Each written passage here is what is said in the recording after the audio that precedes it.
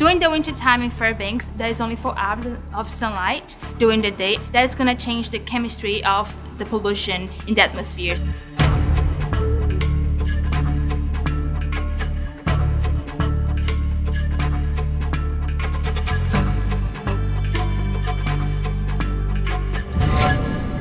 So in January of 2022, I arrived in Fairbanks with 50 other scientists from all over the, the world to study air pollution in cold and dark conditions.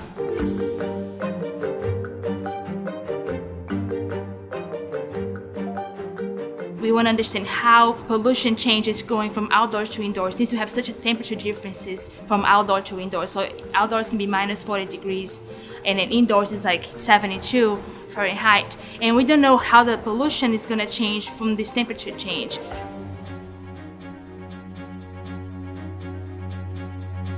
To be able to ship it was a little bit of a challenge. I had to disassemble some stuff and put in different crates. When I got there, everything was perfect. Everything came out. My instrument can quantify and identify these compounds and tells which phase these compounds are, if it is in the gas phase, in the particle phase, and that matters because that's gonna affect you from the chemistry and also our health. That was pretty heartwarming. It gave me energy to like continue doing what I'm doing.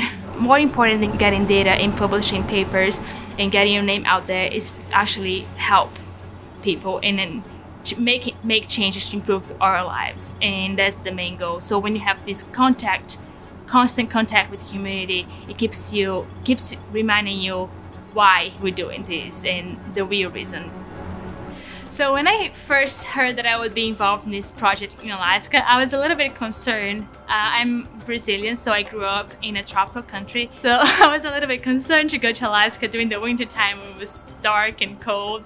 After the study was over, I actually took a time off to travel around Alaska to explore and get to know the people as well and what they do and also get to know the environment outside work, it definitely improved my experiences as a scientist that's gonna help me look at my data in a different way and have a different sort of attachment to my work. So it was it was just very a very rewarding trip.